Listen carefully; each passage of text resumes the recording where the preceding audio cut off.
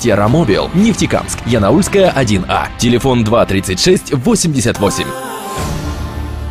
Дом 87Б по улице Строителей в этом году отмечает свое 25-летие. О добрососедских отношениях здесь знают не понаслышке. Старшая по дому не только может назвать всех соседей по именам, но и даже ведет свою статистику. Средний возраст жителей этого дома 49 лет. Вот. И многие именно живут работающие из кожи, вот, которые вот именно построили вот этот дом. Вот. И э, живут прекрасные люди, все профессии, педагоги у нас, врачи, стоматологи, строители, нефтяники.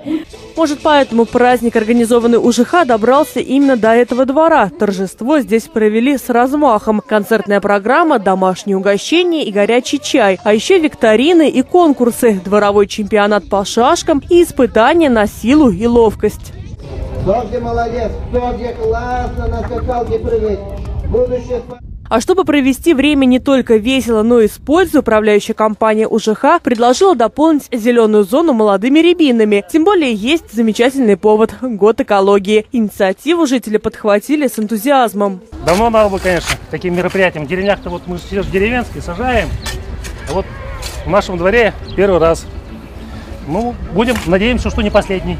Подобный праздник в Нефтекамске проводится уже третий год подряд. Обычно УЖХ помогает его организовать в одном из дворов, но представители компании надеются, что скоро такой добрый праздник станет повсеместным. Мы хотим вот этот праздник, чтобы он был повсеместный.